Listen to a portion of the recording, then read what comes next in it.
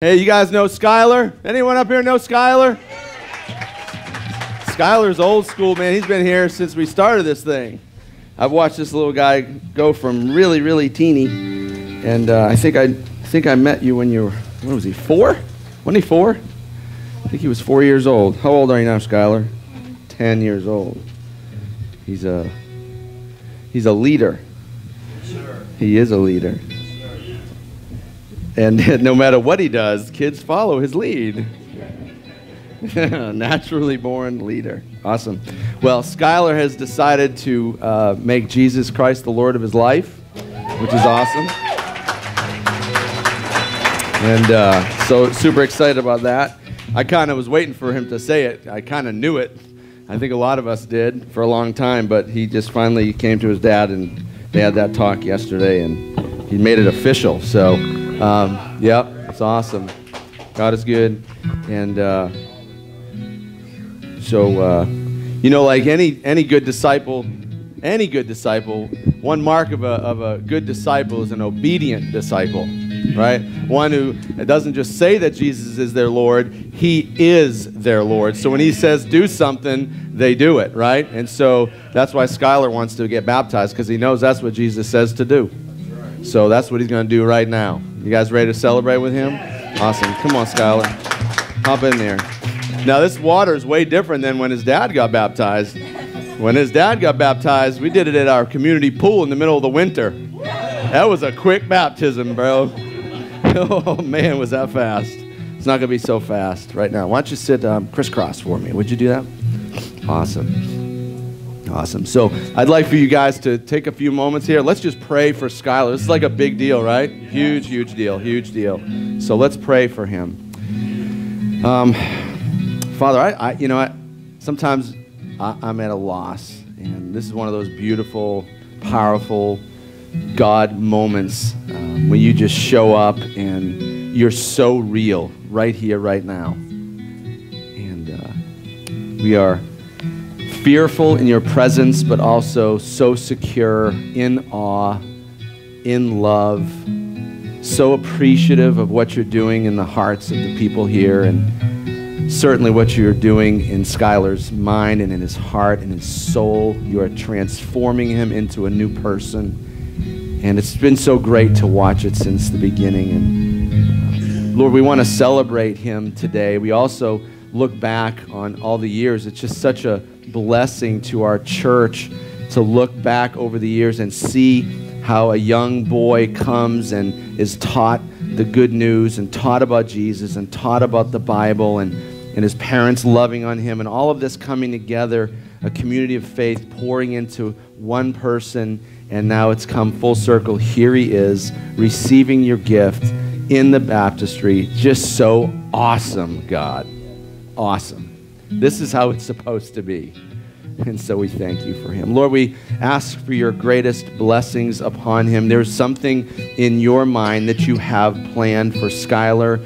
You have, you have hopes, you have dreams for your son, and, and you want to see him become all that you would want him to be. There's, there's something there. And so, Lord, I pray that you would uh, begin to, to unveil that to him and to his family and to us and, and just help him to reach his full potential in the Lord. And uh, you know, I'm not a I'm not the the prophet, but man, I just I just sense that you're going to want to use him to to share the good news to a lot of people, and, and to preach your word to people. And so, uh, I'm just asking for your blessing on him. Fill him with courage, boldness, love for people, a love for you and just help him to lead. You've given him that quality, so use it for your glory. Lord, I pray that you would help him to always remember this moment right now, that you'd burn it into his memory forever. He would always think of this moment. I thank you for that. Lord, I ask for your blessing on him and his family. And I thank you that you chose this church to send this family. I do thank you for that. In Jesus' name, amen. amen.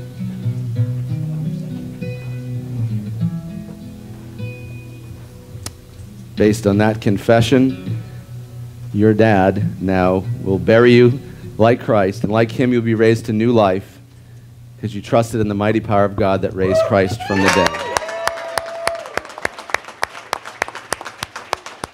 In the name of the Father, the Son, and the Holy Spirit. Amen.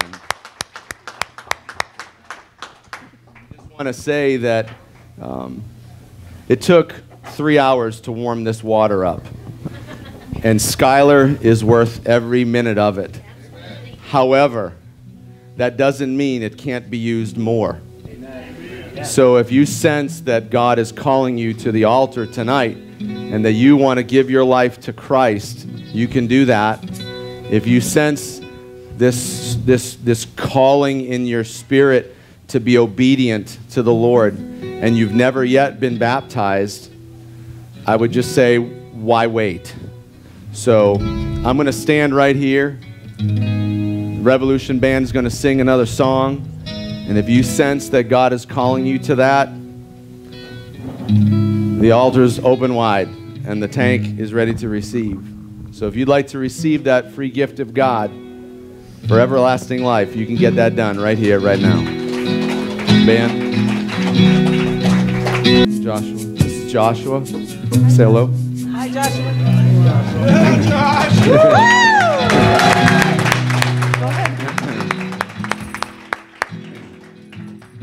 God's Holy Spirit just tugging on hearts. This is what He does. This is what He does. And so he's sitting there and realized, hey, I got baptized when I was 10. But he just told me that, like, when he did it, it was good. You know, he's supposed to do it. But he really, honestly said, I didn't have really any understanding of what was going on. And so um, he, he is a believer, but he's never been baptized in obedience because he knew that's what he's supposed to do as a grown man. You know what I'm saying? Like, not what mom and dad wants, what I want. I want Jesus to be my Lord and Savior, and I want you all to know about it. So uh, he wants to be welcomed into your church family. So just give him a little welcome here, please.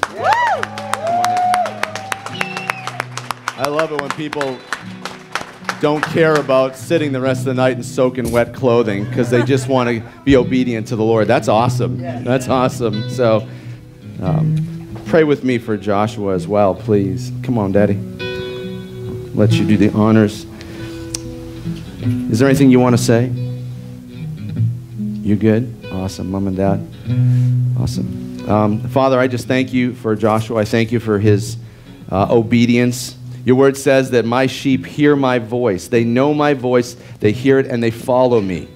And so obviously, uh, he's one of your sheep because he heard your voice deep into deep. Like you've, you've called him and he's responded and he's following you.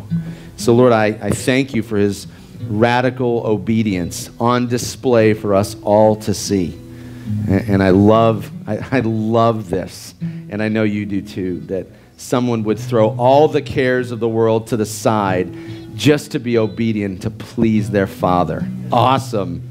So, Lord, we thank you for him. I pray that you would use this man, this mighty man of God, in, a, in an amazing way. Uh, Lord, fill his heart with your word so he wouldn't sin against you. Fill his heart with your word so he could, he could proclaim it to the nations. Lord, just use him in a mighty way. And, and so, Lord, we thank you for him. We thank you for placing this family in this church. And, and, and we just ask for your greatest blessings provision and power and love and compassion, all of God, just pour it into this young man, Lord, and use him for your glory. In Jesus' name, amen. amen. I got to ask you, who is your one and only Lord and Savior? Based on that confession, Tyler will now baptize you. Will, you will be, listen, hold on a second. I know you're anxious. I know you're anxious. and now he buries you with Christ. And like him, you'll be raised to new life because you trusted in the mighty power of God that raised Christ from the dead. Now you may baptize him in the name of the Father, the Son, and the Holy Spirit. Awesome.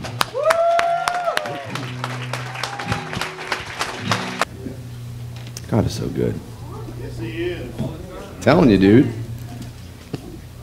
Someone want to tell me how good he is? Anybody? Any, who, if someone has 30 seconds right now to tell me how good God is, tell me right now. Who is it? Raise your hand. Raise your hand. Good. 30 seconds. Let's hear it. I'm alive here. Uh huh. And tell uh, people don't know what the deal is. What's the backstory? Now she's clean. Awesome. Praise God. So, so God can heal people? Really? So, Michelle, are you out there in the lobby? Is she out there? Michelle, you out there? Okay, so maybe she's not out there. But Michelle Shaw has something going on in her arm. She's been battling with this for how long? A year. It just cramps. No doctors, no pills, no nothing makes this thing go away. And she's out there in tears and pain. So, um, so why don't we pray to the God that healed Paula and see if we can get that same God to answer our prayer right now and ask him to do a work in Michelle now. You guys, but you got to believe. And you got to believe. Don't be double minded in this before you pray. You got to believe, you got to believe, you got to believe that He will hear and do. Amen? Father, in the name of Jesus Christ, we ask that you would heal Michelle from her pain. We pray, Lord, your word, your word, when it's speak, when your word is spoken, things happen. And so, Lord, I pray in the same, the same voice that spoke uh, the universe into existence, I pray that that same voice would speak to her arm and bring healing to her arm. Do something awesome here tonight, Lord. Bring healing to her arm in Jesus' name. If anyone believes me, could you just tell me amen, please? Please. All right. So, Lord, you've heard our, our requests, and we ask that you would do that, something miraculous right now. In Jesus' name. Awesome. Um, I'd like to read something to you. Um, says this. You know what? Not to get all Catholic on you. Could you please stand as I read God's word to you? Just as a sign that you that you hold his word in high regard, just a symbol to the Lord, just letting him look down upon this church and seeing a group of people that really, really uh, value his word when he speaks that you that you care. So that's what we're doing now. All the believers devoted themselves to the apostles' teaching and to fellowship and to sharing in meals and to prayer. A deep sense of awe came over their, them all, and the apostles performed many miraculous signs and wonders. And all the believers met together in one place and shared everything they had. They sold their property and possessions and shared the money with those in need. They worshiped together at the temple each day and met in homes for the Lord's Supper and shared their meals with great joy and generosity, all the while praising God and enjoying the goodwill of all the people. Here comes a good amen spot. And each day the Lord added to their fellowship those who were being saved. Amen. amen. You can, yeah, you can clap. You guys can have a seat. Um, if you didn't know, that's uh, Acts chapter 2, verse 42 through 47. It's a text that's commonly read. Um, but rarely duplicated. And you know, it's really strange that I don't understand that either because um, as Christians, we, we, we consider this book as God's Word and, and our instruction on who He is and who we are and how we're supposed to do this whole Christian thing, you know? It's the Bible, right? But yet, how, how often do you actually walk into a church and, and experience a community like the one we just read about? Not, not, not too often, really, not too often. And that, that's kind of a surprise to me. Um, we've, been, we've, been, we've spent probably the last nine to ten months preaching through the Gospel of Luke. And it was our endeavor to learn about Jesus. If this is his church and we're going to worship him, we need to understand who he is and what he said and what he taught and what he said about himself and what he said about the Father and what he said about you and what he said about the lost. I mean, we just need to make some quality choices, right? And it has to be based on truth because God is looking for, for those who would worship him in spirit and in truth. And so, before we can get fired up with our emotions and feelings and, and go all in on this God, we need to know who He really is. And so, we've been studying through the Gospel of Luke to find out all this info. And we don't want to ask mom, and, and we don't want to ask grandma and grandpa, and, and we don't want to ask Google. We want to ask God, and He's spoken clearly in His Word, and so that's what we've been doing for months and months. Uh, last week, though, we took a little detour, and uh, we paid uh, the Apostle Paul a visit uh, over there in Philippians chapter 3, and uh, we, we remember last week we talked about that, that remembering past victories help us in current crisis, right? That when we look back at the faithfulness of God, when we, when we went and we pleaded and we asked Him for something and He did it, and you can look back on that and go, man, I won that one. I was delivered there. He was faithful. And so you rejoice in that, and it gives us confidence in our current crisis. And so we want to always be uh, remembering and celebrating the past, uh, but focused, listen, focused on the future and believing that the best is yet to come. That although God has done some crazy and awesome things in your life in the past, that you believe that He's going to do crazier and more awesomer, is that a word? Awesomer things in your life personally and in the life of your church. And I believe that that is true, and I hope that you do as well. So, we get done with that, and so, of course, I jump back and, and you know, I want to get back into Luke this week and go back into Luke this week and go back into Luke this week. And I'm thinking, man, and it's like, no. You know, I shared with Josh earlier that every time I start to even remotely have a sniff of like arrogance or pride and I think that I know what's going on here, he's like, little boy, just stop. Seriously, come on. And so I went back to Luke and nothing. nothing.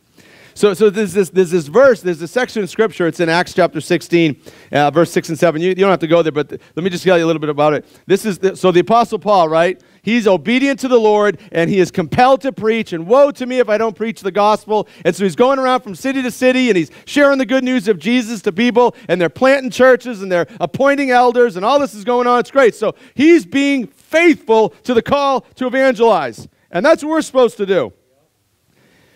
But it's weird because in Acts 16, 6 and 7, he's trying to go to this city and he wants to do that. And it says that the Holy Spirit wouldn't let him.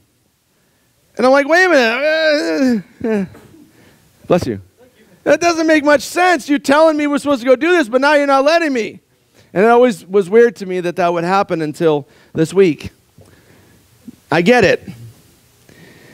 See, the Holy Spirit leads us into truth, the Bible says. And, and, He's our teacher, and without His help, we don't learn anything. So if I'm not learning, like if I'm being lazy, right? If I'm being lazy and I'm not digging into the scriptures and I learn nothing, that's my problem. But it's not for a lack of looking. Like I was at this thing and I was reading it over and over. I w- I wasn't slacking on my Bible. I don't know what you were doing this week, but I was not slacking on my Bible reading. And I got nothing. So I understand now why the Holy Spirit just sometimes says, yep, not this, not now, no. Okay, I get it. But Acts chapter 2, that was alive. You ever do that? You just read and nothing, you go to nothing, and boom, right? Acts chapter 2 was alive. And so tonight I want to I want to focus on the last component that we read about in that first verse. It says that they were devoted to the to the apostles' teaching, that's the word of God.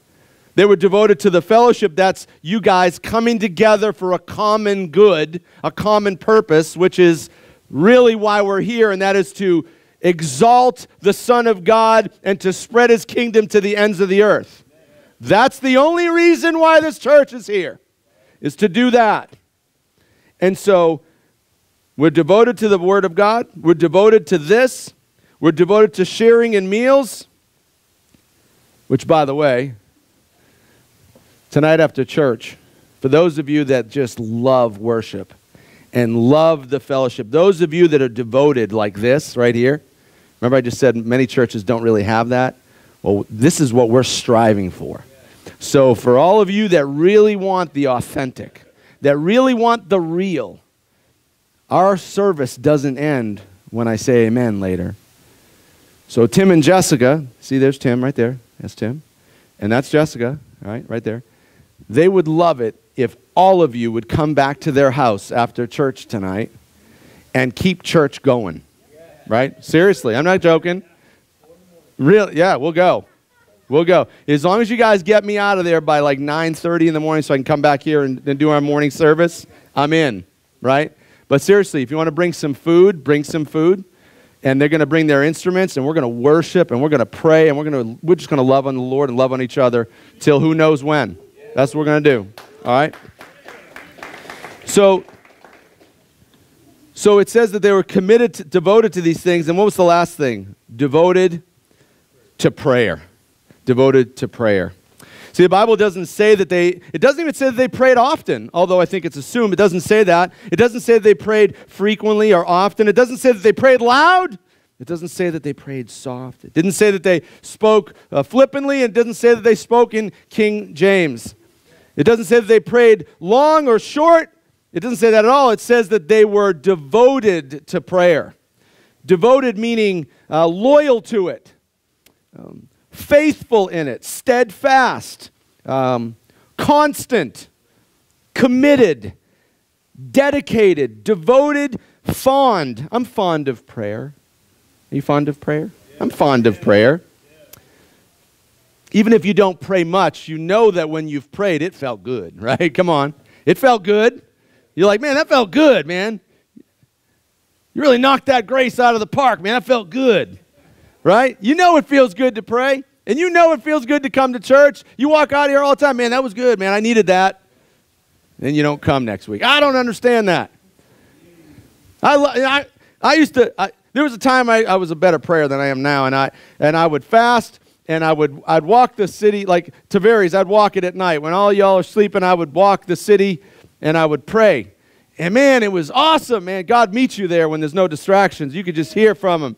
And guess what? I just don't do it anymore because I'm stupid. That's why. There's your theological reasoning. Dumb. I know it's good, but I don't do it enough, but we want to fix that problem. Um, part of the definition of devoted would be to uh, be given over to something. I'm given over to this thing. This is what I'm all about. This is not some uh, peripheral issue. It was the, it's a pillar of my existence. It's who I am. It's who we are. It's what we do. That's what, pray, that's what Christians do. They, they pray. And they were devoted to prayer. And the Lord, listen, and the Lord added to the church daily. Now, listen, Mike said something a few minutes ago when he was announcing things. I have a different perspective than most of you. We talked about this last week. I started this church years ago, and there was just five people in the living room, and they're all gone. And so to stand up here tonight and see this, all these new faces, all these new people, this is awesome, right? But this didn't happen. I'm just telling you, and I don't understand the mystery of prayer. Nobody does. Only God understands. But but but but something happened when we started gathering on Monday nights to pray we, we, we started, I, I guess it was Robert said, we should get together and pray. So we, we did it, and it was like every other week or once a month or something. Then he said, know what? You could see like something started to, to, to, to, under the surface, right? People started to come a little bit more, right? They want to pray a little bit more. You see it. Listen, you don't have to raise your hands in worship. You don't. You don't. You don't have to. You just do whatever God's made you to do. But when you start looking out and you see and you see hands flying up and you hear people singing more aggressively than they ever did before, something's happening. Something's happening, right? And so he's like, you know what? We should pray every Monday night. So we started meeting on, on Monday nights every week to pray. And what started years ago with, with myself and Jessica and Mimi, okay, this past Monday we had 20 people in this room, right? That, listen, awesome, right? Because, but I don't, I don't understand it, but there's something about the Lord that he, He's all about your commitment. And if you'll buy into this thing and you ask Him to do something, He wants to do it because it proves how awesome He is. God is about God big time. And he loves to do things to show how powerful he is. And so the more we're committed to praying, the more he will add to the church. It says it in the this is when God becomes real. He's not just some old story about Noah. This is when he becomes real. When, when you read something in the scripture and it says they were devoted to this stuff, and when they were devoted to this stuff, he added thousands of people to the church. And so when you read that, you're like, man, that's awesome. Man, I wish our church was that way. And so, but when the people of the church hearing the text decide to devote themselves to the same thing, and you start seeing it actually happen as the Bible prescribes, like, that's awesome. That's when you know he's real. And because of that, more people are coming. And look, look around you. More people are coming. More people are coming. This is how he draws people to himself through his church that is devoted to these things. And we see it happening. You know, you want to talk about prayer. This is like this is like the coach saying, "Let's get back to the basics." So maybe you're like bored. But you shouldn't be bored. You know that the Bible, God's word says, "Pray 313 times." Now, I understand that some of those times have been hijacked because they were praying to false gods and all that kind of stuff. So I get that. But the vast majority of them are talking about us praying to Him 313 times. It also says the, the word uh, prayer 109 times. It says the word prayed 65 times. So, so can we just talk about this almost 500 times? God's word talks about prayer. So, so it, does it surprise you at all to, to hear that in two, space, two places in Scripture, both Old Testament and New, Isaiah 5 7, Matthew 21 13, both state that God's temple, the place where God's people gather to worship Him. You know, this is not a temple, I get it. But, but this is a church, it's a building, there's nothing special about this, this concrete. God has always had a place where people come to meet Him. And, and so it says that God's temple will be a house of prayer. Like it could be a house of a lot of things. We could do a lot of stuff while we're here. But there's one thing that it, look at your neighbor and say, must. There's one thing that it must be a house of prayer. And we're seeing that happen more and more here. And as a result, you're seeing greater things happen here. Amen? Listen, this is just plain and simple. Let's just make it really, really simple. We can do a lot of things, but he wants us to be praying up in here. That's what he wants us to do. He wants us to pray. He wants us to pray. He just wants us to talk to him. When God's people gather, what are they supposed to do? Pray. Well, like how, you might ask? Well, how, how, how would they pray? What, what, what, do you mean by that? Well, let me just share with you God's word. Uh, 1 Timothy 2 1, he says to, first of all, to pray for all people. Pray for all people. Philippians 4 6, um, pray about everything. And 1 Thessalonians 5 16, don't stop praying. All people, all things, all day. That's really what God wants. No one's doing it, but that's what He wants. All people, all things, all day. Why would we do this? We see what He wants, but why? Why does God want us to do this? James 5:16 says that the earnest prayer of a righteous person has great power and produces wonderful results. Now, before you go get arrogant on me and think, oh, I'm righteous, no, you're not. No one is righteous. As a matter of fact, the Bible says that your righteousness that you conjure up, the look at how good I am, is filthy rags to him. Okay? So, so, so the, the water's wet over there. I mean, the, the ground is wet over there. So if I grab one of those towels over there and I mopped up that nasty old floor, which it might look shiny, but it's not, it's filthy, and we're going to fix that tomorrow at 2, right? Yeah. So, so if I did that in the towel and I got, and it was just disgusting and black, that's what your righteousness looks like. So when he says the prayers of the righteous man, it, it, it's not of your own merit, not at all. Um, 2 Corinthians 5.21 says this, God um, made Christ, who knew no sin, to become sin. This is awesome, right? I don't, know if, I don't know if you guys all realize that, that Jesus didn't just go to the cross to accept the penalty for your sin. The Bible says that he actually became sin. That's crushing. Right? So he says, uh, God made Christ who knew no sin to become sin so we can become the righteousness of God through Christ. So, so the righteousness, the, the reason why a person like you could, could pray to the Father and it actually has power in it and it actually produces something, like the reason why more people are coming to this church is because when, when you prayed, he listened to your voice because he heard the voice of his son Jesus. That's the reason why this, there's power in that, right? So, so, so when you when you pray, listen, we're all I'm a results driven guy. I, am a task oriented man. Is anybody else with me? Anyone else? So you, you want wonderful results, right? You didn't come here for no reason. You came here because you want to see something awesome happen right? So it says right there that, that the, the, the earnest, that there's constant, devoted, loyal all the time. I'm in on this thing. I'm given over to it. I'm loyal to it. The earnest prayer of a, of a I won't say righteous. I, heaven forbid I change God's word, but you understand what I'm saying, that the prayers of a Jesus person. You understand what I'm saying now, right? Clarity? Okay, so the prayers of Jesus' voice to the Father has power and produces great results. Do you guys all tracking with me what I'm saying to you? You ain't Jesus, but his righteousness imputed onto you, not by what you did, but what he did. That's it. And so when that person prays, somehow it moves the Lord. He just does things when his people pray right? We could, we could have the best programs, and we could have the best band, and we could have the best building, and we could serve Starbucks coffee, and that ain't going to move the Lord.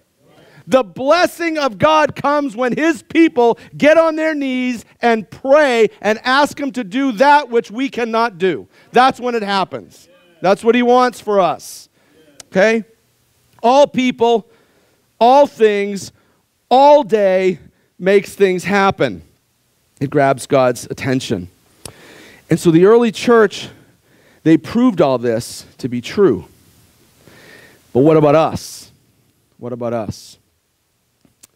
Well, they were devoted, says here, they were devoted to the Word of God, to the fellowship, sharing in meals, and prayer. They were, and that's what happened, right?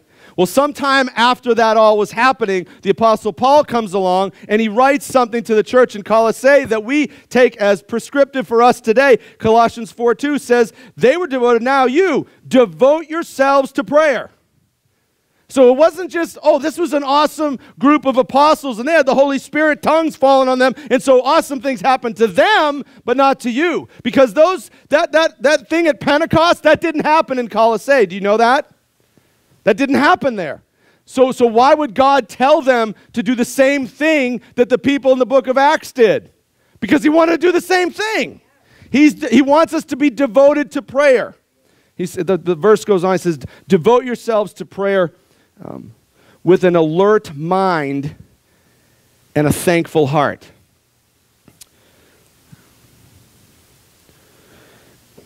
an alert mind. An alert mind carries with this understanding that sometimes you have to shut up. Right? When, when we pray, see, we're programmed to pray for meals, right? Anyone, you pray before you're, you're, you know? So, hey, you know, thank you, Lord, for this. We all say, let it nourish our bodies. I don't even know where that came from. Someone made it up. Awesome, right? It stuck. We, we say that prayer. We pray before bed. You know, we have these times that we pray, we pray, we pray, but the Bible says that we're to devote ourselves to prayer with an alert mind. How can you hear if you don't shut up? Right? Talking and talking and talking and talking and talking and never, ever hearing anything.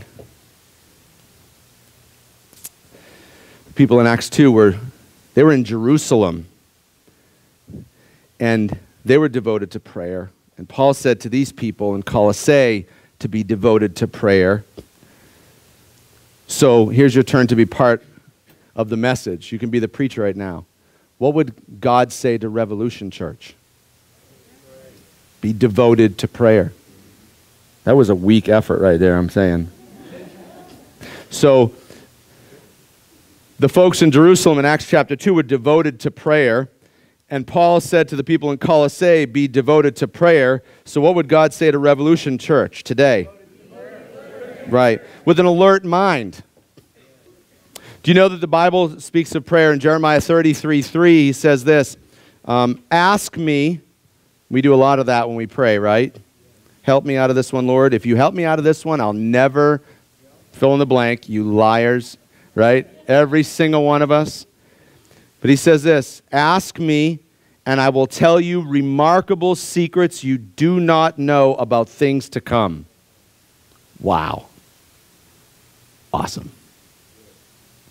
We spend more time watching the weather report, and they're 50 50 at best, than we do talking to the one who is in charge of the weather.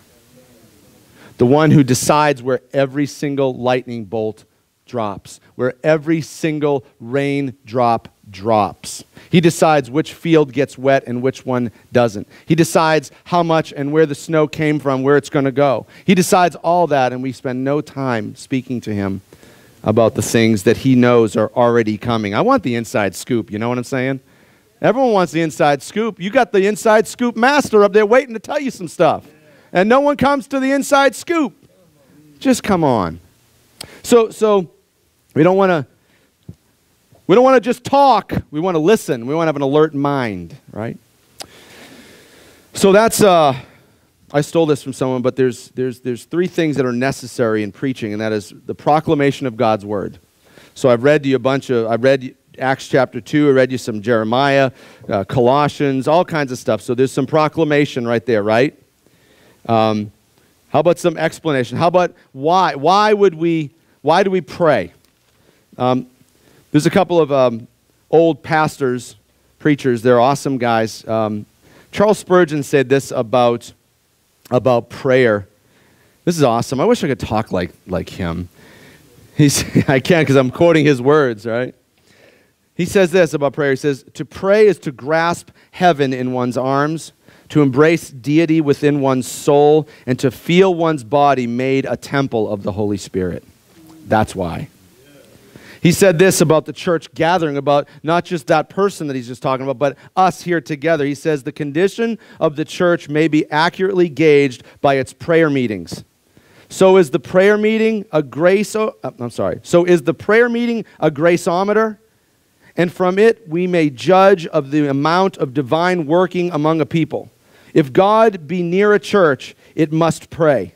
If he be not there, one of the first tokens of his absence will be a slothfulness in prayer. Billy Graham, simply, I love Billy Graham. Anyone else in here love Billy Graham? Man, that guy's awesome, right? He's so, I love, he's just to the point. He's a hammer, that guy, right? You're a sinner and you're going to die and go to hell if you don't repent. I love that guy, right? And they just come like crazy. He said that prayer is just a conversation with God. That's it. You don't have to raise your hand, but does anyone feel as though they're not a good prayer? You don't have to raise your hand. Well, I think God would say otherwise. It's just a conversation. You can talk, can't you? So that's all he says. That, that's what we're supposed to do. Just talk to God. I, I'm not Charles Spurgeon and I'm not Billy Graham, but I would just say that Bible reading and preaching are receiving. That's what you're doing. When you're, when you're up, when you're sitting here listening to the preacher or you're, or you're reading God's word, you're receiving from God. I get that. But prayer is both the upload and the download from God. It's an opportunity to receive from Him, but it's also the opportunity to unload the burdens on your heart to the Lord, to, to, to ask Him questions that are running around inside of your mind. It's an opportunity to interact with the Creator of heaven and earth. It's an incredible privilege. And, and part of explaining, listen, part, I, I'm telling you these things from these great pastors because I'm trying to explain why we pray, but part of explaining is rightly expressing the importance of prayer. Okay, the, the, to explain why, you have to understand how important it is. I would say this that if Jesus only lived 33 years, and he knew his destiny. He knew he was going to the cross, and he knew when it was going to happen. That's why he was on his way to Jerusalem, for his time had not come, he said. He knew what his time was. He knew where he was going, he knew his destiny, he knew it was coming to an end. So if, if you knew that you were just days away from the end, party time, right? Right? Live like you were dying, Tim McGraw. There's some things that you'd want to do if you knew life was coming to an end, if your time was limited, right? But the importance of prayer is displayed in the life of Jesus Christ. In, in Luke 6 12, it says, just before he goes to his death, it says that he prayed the entire night. That's how important prayer is. So, proclamation check, explanation check. Uh, here's application. Um, like saying, uh, y'all should come to church, but providing no place to do it. Y'all should, should give, but don't give you an opportunity to do so. You all should pray. Well, give us an opportunity to do that, yes. We're going to do that right now. We're going to do that right now. There's just no sense in talking about it. What makes sense is doing it. And so, using the Word of God as our guide, we're going to see how Paul prayed, and we're going to see how he taught others to pray. Now, I'm going to have you do something here, but before I do, I just want to give you this one word of encouragement. I know that not everybody likes to pray, and maybe you're in this room and you're not even a believer. You wouldn't even want to pray, you wouldn't know who to pray to. I'm happy that you're here. There's another old dead guy, A.W. Tozer, who just said this, and this is an encouraging word for you. He said, The key to prayer is simply praying. That's it. Just talk to him and listen. So, this is what I want you to do. I want you to do something that's uncomfortable. I want you guys to break up into groups of three or four. For real. Come on. I want you to group, up into groups of three or four, and we're going to pray. Jesus, he said this is going to be a house of prayer, and we're going to be obedient to that. And so we're going to do something a little bit different tonight. Instead of just sitting there listening to me, we're going to get together, God's family, and we're going to pray. And, and listen, if you're, if you're someone who's bold and doesn't mind speaking out loud, volunteer yourself into a group. And if you don't feel like being, listen, you can sit, sit together, find places to sit, because it's going to be a while. And, and if you don't feel comfortable, you, you don't have to, but you can just sit in a group and listen. You can sit in a group and listen. You don't have to say an, you don't have to say a word. Just sit with the group and let someone pray on your behalf. Would you do that? Don't be alone. Don't be alone.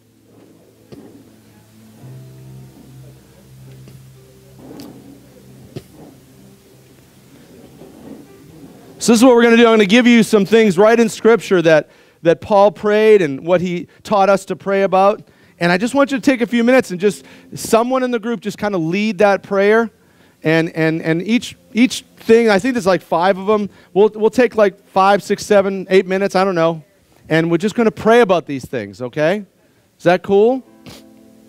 All right, so here's the first one. It's Philippians 4 6.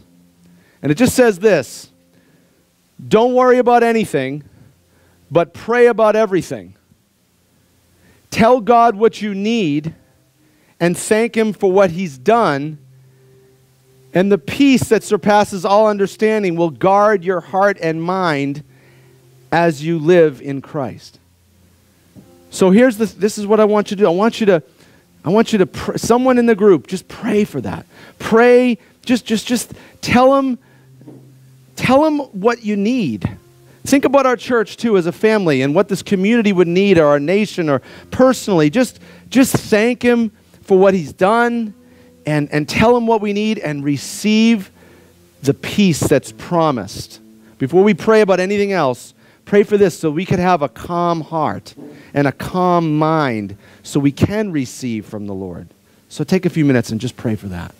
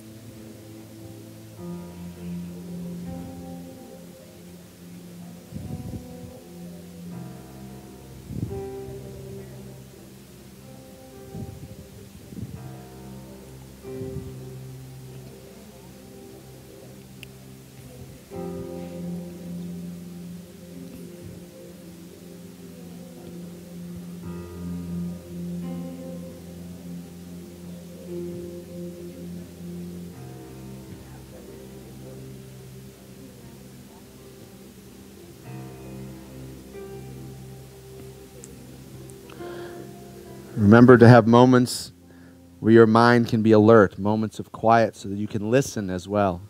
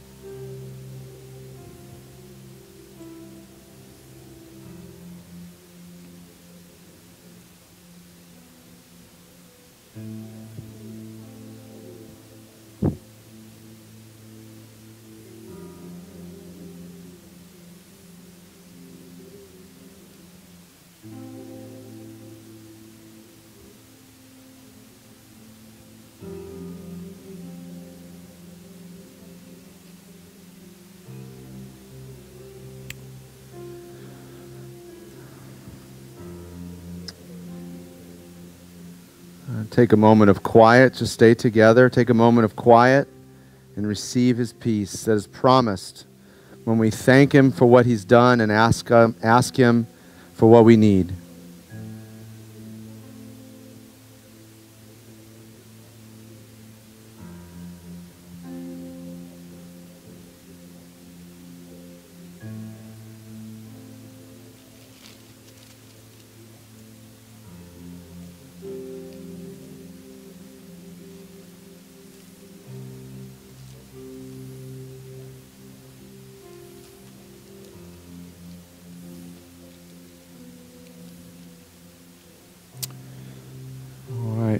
Since we have we are at peace and our minds are calm and our hearts are calm, stay together.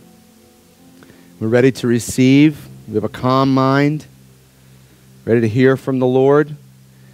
Our next prayer would be to pray for one another. The Bible says in Colossians 1 9, Paul says, We have not stopped praying for you since we first heard about you. We ask God to give you complete knowledge of His will and to give you spiritual wisdom and understanding. Then the way you will live will always honor and please the Lord, and your lives will produce every kind of good fruit. And really, isn't that what we want in our church? Isn't that what we want for the people? Isn't that what we want for one another? That our lives would honor the Lord in every single way, and that our lives would produce fruit, multiply, multiplying fruit. It also goes on to say in verse 11, we also pray that you will be strengthened with all his glorious power, so you will have all the endurance and patience you need. So pray for those in your group that they would learn more, that they would have greater understanding and greater knowledge, greater wisdom from the Lord. Let him know that's what you want. So pray for us to learn and pray for us to last, to get to the end of the race in victory. Go ahead. Learn and last.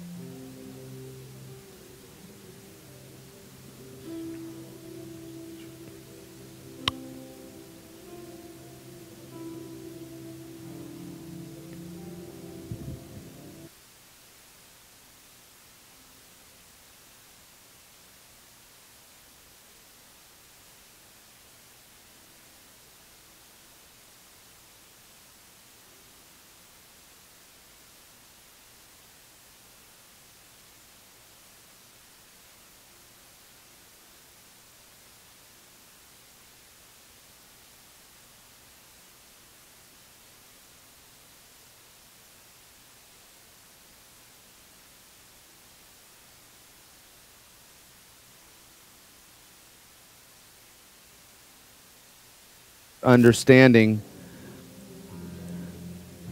is to stop and listen. To do like Jeremiah 33 3 said, to ask, and he will tell you remarkable things about the future that you do not know. So, as you're asking for spiritual wisdom and truth, lay before him the, the questions that you have now in prayer and be quiet and listen, and perhaps he would speak to you.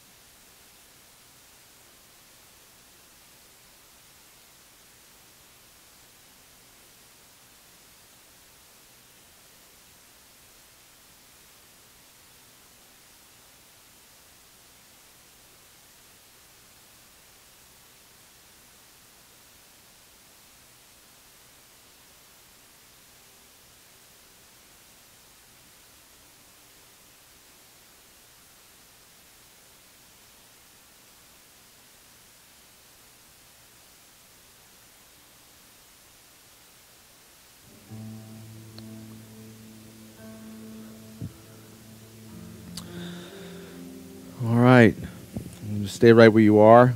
Here's our third thing that we're going to pray for tonight. First was for each other, and now it's for all people. 1 Timothy chapter 2, verse 2. Paul says, I urge you, first of all, to pray for all people. Ask God to help them intercede on their behalf, and give thanks for them, for all people. It's probably a tough one for most of us. He gets very specific, though. Yes, we're to pray for all people. In the very next words, he says this Pray this way for kings and all who are in authority, so that we could live peaceful and quiet lives marked by godliness and dignity. So, because he got specific, I would ask that you would, someone in the group would first pray for all people, 7 billion. Uh, acknowledge to God their value and their worth. But then I want you to get specific, and I want, we don't have a king, but those who have authority over us. So I'd like, I know not everyone in the room is probably a fan of our president, but he is. And the Bible says that we're to pray for the authorities. So I want to ask you to pray for President Trump. I would ask you to pray for our Congress. I would ask you to pray for our sheriff, things of that nature, those offices like that. And take some time and ask God's blessing on those people. Go ahead. Let's do it.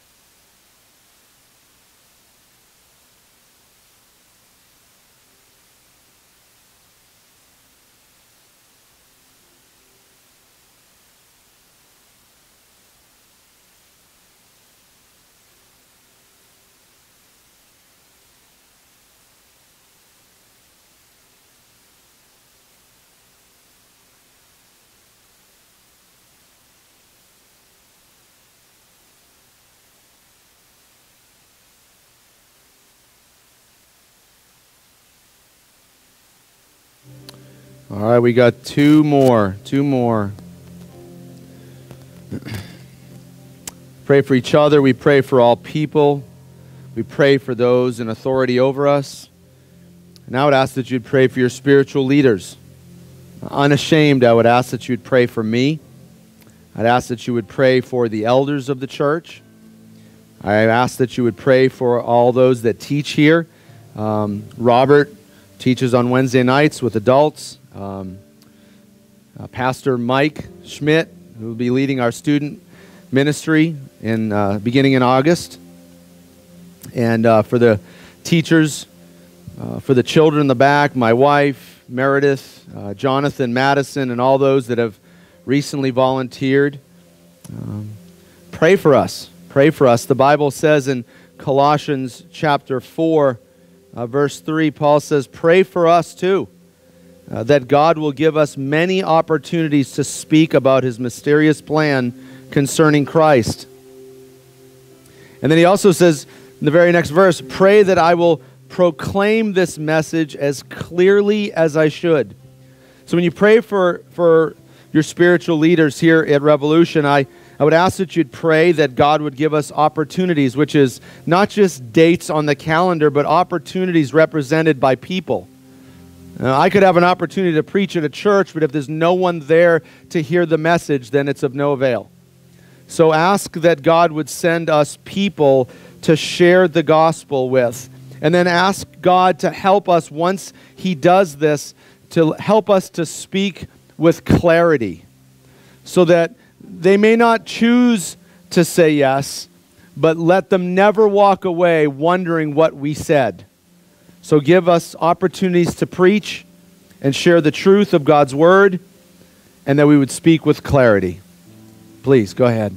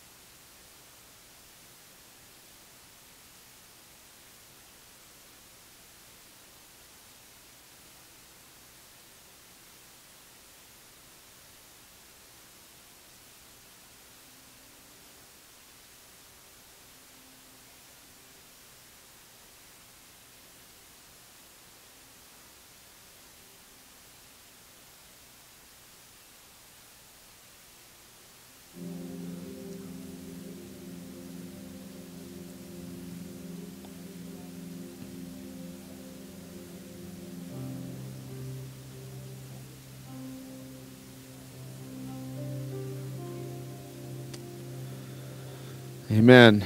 And last but certainly not least, as a congregation, it should be our desire that the whole church is healthy, growing, and full of love. And so I would ask, based on 2 Thessalonians chapter 3, verse 1, which says this Finally, dear brothers and sisters, we ask you to pray for us. Pray that the Lord's message will spread rapidly and be honored wherever it goes. So I would ask you to pray for more people to come, that this church would grow. You see, when it says that the message will spread rapidly, it doesn't mean geographically, it means people. So he wants it to be proclaimed to more people and to be honored. In other words, that it would be impacting, that those that would hear would receive, and that more people would get saved, and that more people would be obedient. So pray for God to send more people, more people get saved, and more obedient people to God's word. Let's do this.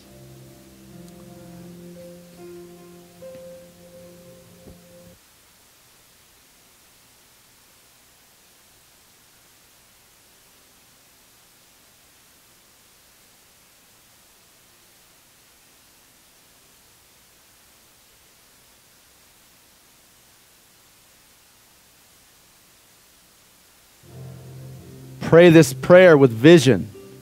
If your eyes are closed, visualize the people.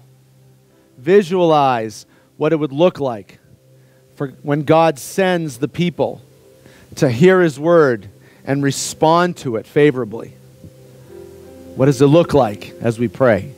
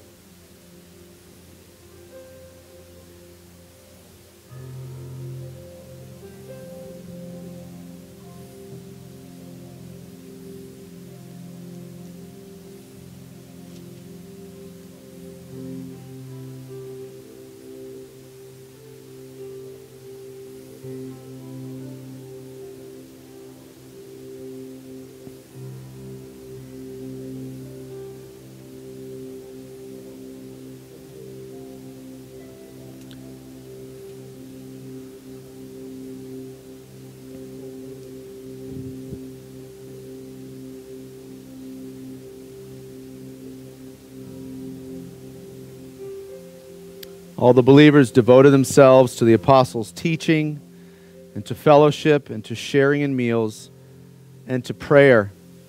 A deep sense of awe came over them all, and the apostles performed many miraculous signs and wonders. And all the believers met together in one place and shared everything they had. They sold their property and possessions and shared the money with those in need. They worshiped together at the temple each day, met in homes for the Lord's Supper, and shared their meals with great joy and generosity, all the while praising God and enjoying the goodwill of all the people. And each day the Lord added to those, to their fellowship, those who were being saved.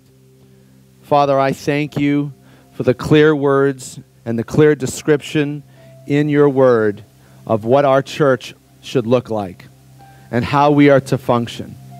I thank you, Lord, for placing it upon my heart to do this here tonight. I thank you for allowing me the privilege to be the pastor of this church, this group of beautiful, beautiful people. And as I cast my eyes out across this room tonight and see what I've seen, I just see nothing but beautiful. Lord, help us to bring beauty to the world. Help us to take this that we've done here tonight and bring it out to a lost and hurting world. Lord, help us to be obedient to what your word says. to never stop praying. We thank you, Lord, right now as we look back on recent history. When we prayed, you blessed.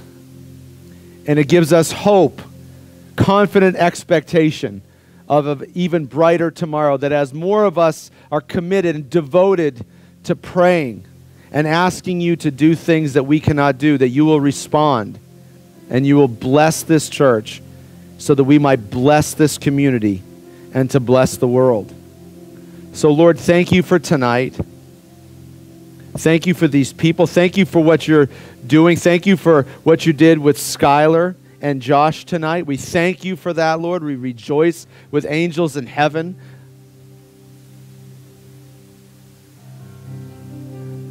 And Lord, as we leave this place now and extend our fellowship and extend our worship and extend the sharing of meals and extend our devotion to prayer to Tim and Jessica's house, Lord, just go with us so that this beauty would not end. Thank you for tonight, Lord. We love you. Help us to be devoted to this. In Jesus' name, amen. Amen.